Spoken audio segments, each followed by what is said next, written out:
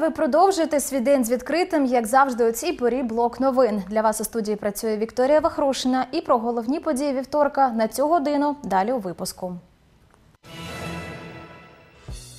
Били чи не били у Дніпрі? Поліція розслідує конфлікт між вчителькою математики та матір'ю учня у 120-й школі. Я б у водії пішов. У Дніпрі набрали нову групу кермувальників тролейбусів. Мистецтво зцілення у Дніпрі презентували малюнки дітей, які постраждали від домашнього насильства.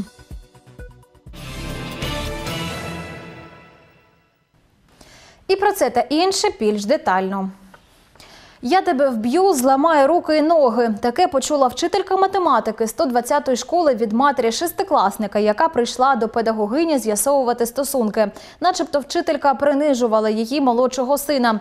Крім погроз, викладачка отримала і копняка. Все це відбувалося на очах учнів. Така версія адміністрації закладу. Сама ж мати школяря божиться. Це наклеп. Вчительки не торкалася. Тож, що було насправді, дізнавалася наша Анастасія Вільхова. Звичайний урок математики для 56-річної вчительки завершився гучним скандалом та синцями. Мати одного із учнів завітала до школи. Незважаючи на зауваження охорони, рушила на розбірки до педагогині. Я сделала ей замечание по поводу масочного режима, администрации школьного режима. Она сказала неадекватно, ответила мне, «Э, сейчас это не по закону, читайте законы. Развернулась и пошла. Проигнорировала охранника, проигнорировала, проигнорировала мое замечание. Розлючена жінка прийшла до школи не сама, а разом із старшим 18-річним сином. Піднялись на третій поверх, знайшли вчительку та почали її лаяти. Слів не підбирали, а потім кинулися в бійку. Все це на очах одинадцятикласників. Почала погрожувати її, обзивати нецензурними словами. Погрожувала, кричала, що я її я, я тебе вб'ю, поламаю тобі руки і ноги. А коли її вчителька відповіла, що вона буде розмовляти тільки в присутності директора школи з нею, повернулася, щоб зайти до класу, проводити далі урок. е, Підскочила ця жінка, почала бити її ногами, і її повнолітній син продовжували це побиття. Після інциденту вчителька потребувала допомоги медиків. Шкільна медсестра зауважила, стан у викладачки був такий, що вона могла легко отримати інсульт. Я ей померила давление. У нее давление 180 на 100. У нее криз гипертонический был, ее все телепало.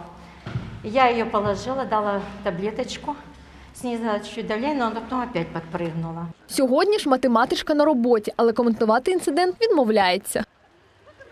Вікторія, матір шестикласника, через якого й розгорівся конфлікт, запевняє, вчителька майже чотири роки знущається, принижує та налаштовує однокласників проти її дитини. Після вчорашнього перевела сина на домашнє навчання. Таки Мне сын э, младший написал на Вайбер о том, что э, учительница начала настраивать детей э, его класса э, из-за того, что он улыбнулся, там засмеялся, отсядьте от него, э, я не хочу вас видеть таким же самым ублюдочным, как он, и не общайтесь с ним. Щодо погроз та бійки, каже, такого не було. Для меня ненормально, когда э, на женщин, а тем более на педагогов, поднимают ноги, руки, В унісон матері каже й старший син Вікторії. Віталій цьогоріч закінчив цю саму 120-ту школу. Э, Ничего не говорил, но так как она начала переходить на личности по отношению к маме, я ей сказал, чтобы она следила за своими выражениями, на что она мне ответила, чтобы я закрыл рот э, матом, ответила.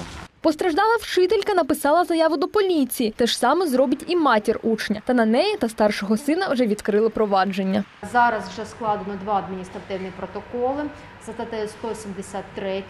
Це дрібне хуліганство відношення е, е, мами та старшого брата. Е, Також ми чекаємо на довідку судово-медичної експертизи е, про тілесні ушкодження, які були завдані вчительці.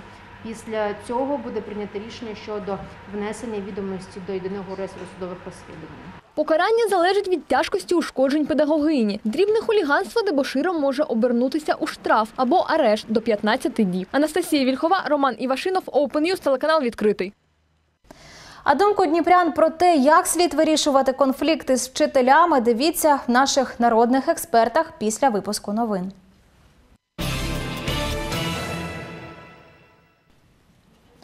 Понад 19 тисяч нових ковід-хворих за минулу добу в Україні. Найбільше інфікованих в Одеській, Харківській, Запорізькій областях та столиці. 32 тисячі з 35 госпіталізованих з коронавірусом не вакциновані. Таку статистику за минулий тиждень наводять у МОЗ. І додають, щодня один хворий на ковід-19 споживає у 6 разів більше кисню, ніж це було в попередній хвилі недуги.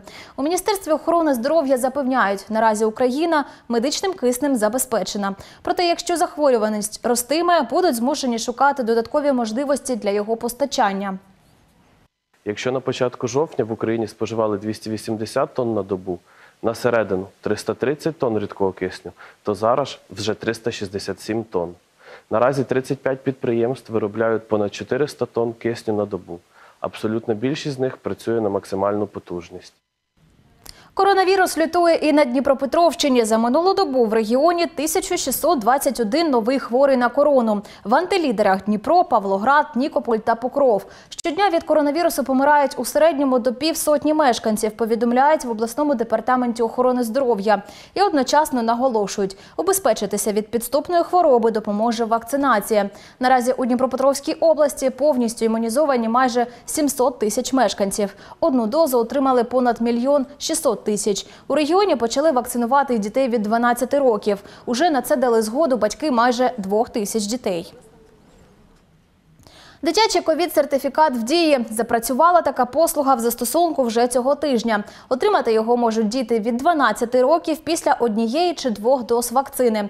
Для цього одному з батьків потрібно в оновленому застосунку додати свідоцтво про народження дитини і в розділі послуги отримати сертифікат про щеплення. Підлітки з 14 років можуть самостійно авторизуватися в застосунку і підтягнути сертифікат. Зараз ми робимо там невеличку модернізацію, і до кінця тижня в наступному оновленні мобільного застосунку Дія, після того як ви обираєте там замовити цифровий ковідний сертифікат, у вас буде опція замовити виключно по собі або замовити по дитині. Тобто наразі ця функція працює, але безумовно далі все там залежить від того, наскільки запис по дитині в системі є вірним.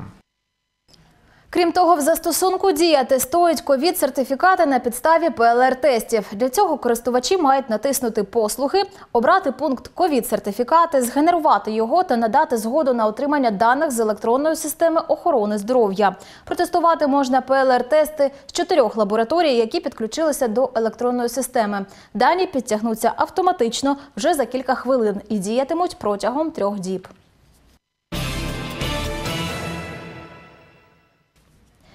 На Дніпропетровщині помер 21-річний строковик. За день до смерті хлопця знайшли непритомним з черепно-мозковою травмою на території військової частини Нацгвардії у Кривому Розі.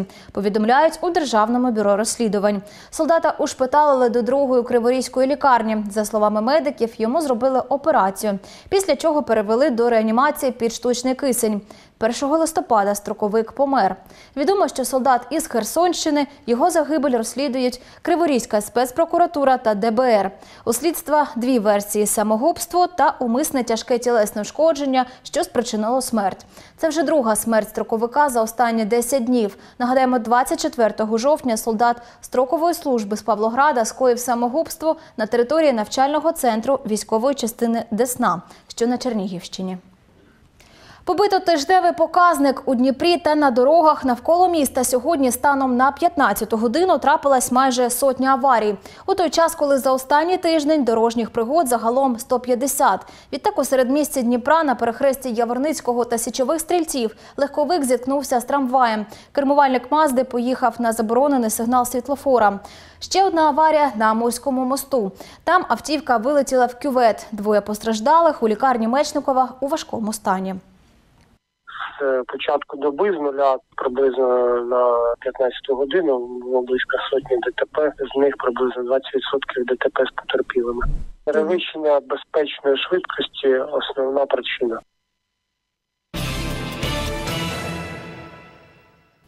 Трамваї їздитимуть тихіше та не сходитимуть з рейок. У Дніпрі на вулиці Роденка почали міняти трамвайне полотно. Саме тут розташоване депо, з якого вранці роз'їжджаються майже 96% трамваїв міста. Востаннє капремонт тут проводився 37 років тому. Через це нерідко трамваї сходили з рейок. Якщо це траплялося вранці, для міста це значив транспортний колапс. Комунальники мають замінити майже 2 кілометри колії, контактну мережу, 38 опор та відремонтувати 13 переїздів через трамвайні шляхи. Роботи обіцяють закінчити до кінця року. Загалом на капітальний ремонт витратять майже 157 мільйонів гривень. Работы производятся только в дневное время, после выпуска э, подвижного состава на линию и перед э, возвратом транспортных средств обратно в депо. То есть мы проводим работы с 9 до 17 часов. То есть за это время, за этот промежуток времени мы должны демонтировать старый путь, соответственно, подготовить подушку под новый и уложить несколько звеньев э, нового пути, скрепить для того, чтобы обеспечить э, проезд транспортных средств, соответственно, в депо и утренний выпуск его э, из депо. Город планирует э, приобретать новый подвижный состав. Э, Новый подвижный состав на данном пути, он просто, я думаю, что он бы не выехал. И не заe- если бы выехал, то не заехал бы. Вот, поэтому с учетом и обновления подвижного состава проводится капитальный ремонт данного участка. У Дніпрі набрали нову групу майбутніх водіїв тролейбусів. Навчання безкоштовне і проходить у спеціальній школі при комунальному підприємстві Дніпровський електротранспорт. Найкращі студенти отримуватимуть стипендію до 6 тисяч гривень. Проте кого навчають і як, дивіться далі. Відмовився від кар'єри інженера, аби керувати тролейбусом. Сергій Іванов вже більш ніж рік курсує п'ятим маршрутом у Дніпрі. Після закінчення вишу чоловік вирішив опанувати нову професію та прийшов на навчання до школи водіїв при Дніпровському електротранспорті. Огромная ответственность, потому что требует очень большого внимания эта профессия по сравнению с тем же водителем автобуса, где ты следишь только за дорогой и за пассажирами. Здесь у тебя две дороги. Здесь ты и, на, и вниз, и вверх, и влево, и вправо, и глаза в разные стороны. И за всем надо уследить и все держать под контролем. Також е, в нашому класі представлені елементи пневматичного, механічного та електричного обладнання тролейбуса. Нині набрали вже п'яту групу майбутніх водіїв тролейбусів. Тут студенти не лише із Дніпра, а й з Кам'янського, Кропивницького та Бахмута. Опанувати нову професію, а разом з тим і втілити дитячу мрію прийшов і Олександр. Решил получить профессию водителя троллейбуса как э, достаточно надежную и перспективную в современных условиях. Опять же, очень приятно, что обучение полностью бесплатное для учеников и выплачивается еще заработная плата. Школу для майбутніх водіїв трамваїв та тролейбусів відкрили у 2019 році. З того часу випустили майже дві сотні фахівців. Особливою відмінністю цієї машини є те, що вона спочатку з заводу обладнана місцем під е, інструктора. Тобто це зареєстрований е, учбовий тролейбус. У навчальній програмі теоретичні заняття, вивчення правил дорожнього руху та практика на спеціально обладнаних тролейбусах. Тривалість курсу 5,5 місяців. Від початку навчання зі студентами укладають трудові договори, а найкращі учні отримують стипендію до 6 тисяч гривень. Водители уходят на э, уходят э, по состоянию здоровья, уходят в связи с пе- с переменой места жительства. Поэтому постоянно необходимо пополнять э, штат водителей трамваев и троллейбусов. В течение этого 2021 года мы уже подготовили 56 водителей трамвая и троллейбусов. За это время уволилось, как я сказал, по состоянию здоровья на пенсию 30. То есть у нас э, положительная динамика Прийти на навчання може кожен, кому від 21 року. Гендерних обмежень жодних. Зареєструватися на курси можна за телефонами комунального підприємства Дніпровський електротранспорт 373 92 13 093 459 54 83. Марія Требушенко, Володимир Турколець, Open News, телеканал відкритий.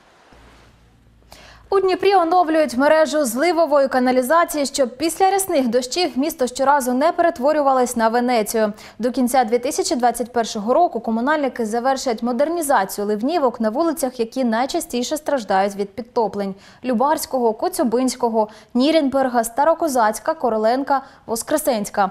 На всіх точках вузькі стічні труби замінять на європейські більшого діаметру. Цьогоріч з міського бюджету на реконструкцію дощоприймачів виділили 200 мільйонів. Наступного року оновлення продовжать. Зокрема, вже запланований масштабний проєкт на Володимира Великого. Туди інвестують більш ніж 300 мільйонів гривень. Однак зношена мережа зливової каналізації не єдина проблема. Колектори засмічують і самі люди. від покришок, е, пляшок е, до е, старих якихось телевізорів, холодильників, навіть крісло там чи стілець, е, матраси. Це все викидається і це все потім потрапляє до колекторів, доходить, доводиться це діставати звідти. І воно спричиняє більші проблеми і більше підтоплення, перебуваючи в колекторах. Тому не викидайте, щоб е, не погіршувати ситуацію.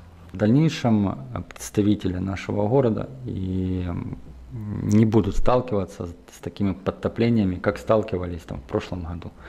То есть все центральные улицы будут восстановлены, будет заменена полностью вся коммуникация, будет замена э, всей ливневой системы. Збирають гроші на видавництво книги. У Дніпрі представники меморіального будинку музею академіка Яворницького проводили конкурс до ювілею від дня народження цього видатного вченого. Діти з усієї України надсилали свої есе, роздуми, фентезі, казки, відеороботи та малюнки на тему Хто він Дмитро Яворницький. Музейники зібрали понад пів тисячі робіт. З них відібрали 25 найкращих літературних та приблизно 60 художніх творів. Їх хочуть об'єднати у збірку. Адже жодної дитячої книги про нашого земляка, історика, українознавця, немає. На думку авторів проєкту, ця збірка важлива не лише для Дніпра, а й для усієї України. Адже понад 50 топонімів нашої країни названі на честь Яворницького. Тож допомогти видати книгу просять усіх небайдужих. Дніпрянин Даніїл Лісогор брав участь у конкурсі Хто він? Дмитро Яворницький. Мені випала дуже каверзна така тема. Якби Дмитра Івановича Яворницького її зовсім не було. Він вклав таку велику частку просвітництво української історії та козацтва. Мені здається, то Україна здобула б незалежність значно пізніше, або навіть не здобула б, якби не цей, цей земляк наш. Ліза цікавиться історією. Говорить, з тиждень працювала, аби написати твір на конкурс, який проводив меморіальний будинок музей академіка Яворницького. Мені стало цікаво, а якщо б е, Яворницький і Підмогильний зустрілися. Але я пошукала і з'ясувалося, що Підмогильний на той час, коли Яворницький видавав в інституті, теж навчався в тому, в тому ж році. І мене це зацікавило. Я вирішила уявити, якщо б вони зустрілись би. Твори і Даніїла, і Лізи виявилися одними з найкращих. Їх іще приблизно сотню дитячих відеоробіт, літературних творів, малюнків, презентацій, колажів, коміксів, ребусів, загадок про нашого земляка, легендарного історика козацтва, культурного та громадського діяча хочуть об'єднати у збірку про Яворницького очима дітей на 150 сторінок. А ще аудіокнигу, де б автори озвучили свої вірші, фентезі та роздуми. Це буде інтерактивна книга, сучасна книга, в якій буде і частина діджиталізованої інформації, оскільки великий ще пласт робіт залишається, які не увійде цю книгу. Їх можна було побачити через сканування QR-кодів, подивитися цікаві відеороботи. Крім того, діти надсилали е, навчальні презентації, розраховані на різний вік, які могли послугувати для е, вивчення е, спадщини Яворницького. Десятеро учнів керівника краєзнавчого гуртка Павла Дінця брали участь у конкурсі. Чоловік каже, усі роботи надзвичайно креативні, унікальні та можуть зацікавити підлітків до вивчення та дослідження історії, краєзнавства. Завдяки їм можна відчути, яким був Дмитро Яворницький. Ми розбирали графологічно почерк Дмитра Івановича. Ми проводили соціальне опитання, опитування невеличке серед школярів. Ми хотіли, щоб він, як і Шевченко, не бронзовел, а щоб показати його простою людиною. Наприклад, наша Ілона взялася за таку тему, а що було б, якби Дмитро Іванович був моїм дідусем рідним, і там теж так, такий фентезі був. Щоб видати книгу з дитячими роботами про Дмитра Яворницького, потрібно 150 тисяч гривень. Допомогти втілити проєкт у життя, який допоможе багатьом дітям дізнатися про культурну спадщину та постать Дмитра Яворницького, популяризуватиме дитячу творчість, може кожен. Це буде книга-гра, яку планують передати в українські навчальні заклади та нагородити ними учасників конкурсу. Реквізити на ваших екранах. Галина Ізмайлова, Олександр Вернегоров, Open телеканал відкритий. Із чорного у кольорове у Дніпрі презентували малюнки дітей, які постраждали від домашнього насильства. Арт-терапія, мистецтво зцілення, проєкт громадської ініціативи Пані Патронеса. Його покликання допомогти пережити родинам скрутні часи. На заняття діти ходили протягом двох місяців. За цей час малеча спілкувалася із психологами та позбавлялася страхів через мистецтво. Життя очима дітей бачила і знімальна група відкритого. На цьому малюнку це хлопчик він намалював свою маму, е, яка така от на темному фоні, і тут видно тільки її очі, губи, те, що він пам'ятає, а все таке от темне притемне. Таких малюнків, як у цього семирічного автора, десятки. Спершу на заняттях із психологом діти виражали свої емоції, які провокували домашнє насильство. Здебільшого привалювали темні кольори, каже психологиня Наталя Валовська. Та вже за два місяці копіткої праці та творчості спеціалісти допомогли дітям трансформувати пережитий біль. Тим самим з'явилася надія на те, що вони зможуть будувати здорові стосунки у майбутньому, і темні фарби на папері перетворилися на яскраві. Коли ми е, збиралися, ми також ще проговорювали правила, як е, діти себе повинні е, ну, поводити на цих мастер-класах. І мені запам'яталось те, що е, він вже наприкінці, коли ми малювали Петриківку, він перший раз за все, за все це время він підняв руку і сказав, що хоче таке правило, щоб ми поважали один одного. Терапія це 12 сеансів. Участь у ній взяли 15 дітей від 7 до 12 років. Малювали патриківським розписом, відбитками листя та яблук, займалися ниткографією та ліпили з пластиліну. Поки діти лікувалися артом, батьки в сусідній кімнаті отримували від спеціалістів емпатичну підтримку. По суті, це для того, щоб теж разом з дітьми розвиватися і змінювати свої стосунки, ем, вчитися по-іншому і мати зв'язок із собою, по-перше, а по-друге, вибудовувати стосунки з іншими людьми. Допомагала дітям розкритися команда із 10 спеціалістів від волонтерів до арт-терапевтів. Ми зрозуміли, що ми не можемо е, стояти осторонь, і ми мусимо підтримати цей проект, тому що він є е, дуже болючим, гострим і актуальним для нашого суспільства. Наразі проєкт пілотний, однак громадська організація пані Патронеса планує зробити його постійним, аби підтримувати якомога більше дітей. Діти на сьогодні, як в Україні, так і в місті Дніпрі, можна так сказати, що вони є невидимими е, для домашнього насильства. Чому? Тому що, наприклад, за статистикою поліції міста Дніпра, якщо в нас е, зафіксованих фактів поліцією в 2020 році було близько 4 тисяч, то постраждалими в цих випадках визнано десь 3% – це діти, 87% – це жінки і близько 10% – це особи чоловічої статі. Роботи на виставці розділили по двох зонах на до і після терапії. А головним арт-об'єктом стала спільна робота дітей Україна без насильства. Це мапа країни, розписана в техніці Петриківського розпису. Вікторія Вахрушина, Василь Самовар, Open News, телеканал відкритий. Інформація на останок. У середу 3 листопада у декількох домах житломасиву Перемога не буде води. Відключення з 9 до 20. Про це повідомляють у Дніпроводоканалі. Причина невідкладні аварійно-ремонтні роботи. Детально ознайомитися з адресами, де не буде води, можна на нашому сайті opentv.media та на сторінках у соцмережах. Сюжети переглядайте на нашому ютуб-каналі. А якщо маєте цікаву новину, телефонуйте на гарячу лінію 068 123 48 54. А я з вами прощаюсь. Залишайтесь відкритим і за будь-яких обставин будьте у гармонії із собою.